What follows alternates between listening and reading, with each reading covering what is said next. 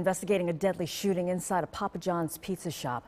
A man was killed early this morning at the restaurant near 27th and Oklahoma. Fox 6's Angelica Duria has the latest.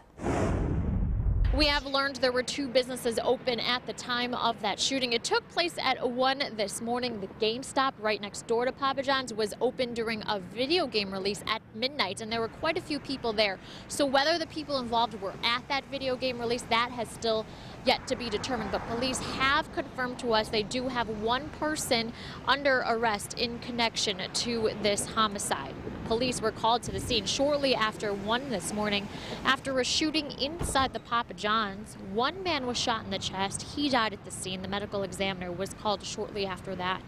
Uh, police recovered the gun used at the shooting and one suspect, again, now in custody. At this time, though, there is no word on what led to that shooting or a motive or uh, the identities of the two individuals involved or how they knew each other. Police have been here at the scene for several hours. They were interviewing witnesses and gathering evidence, but of course, it is still an ongoing investigation, and uh, we are hoping to get more word from police, and once we do have that information, we will bring it uh, to your attention. That is the latest from 27th and Ohio in the city's southwest side. Angelica Duria, Fox 6 News. Police also continuing to investigate a deadly shooting on Milwaukee.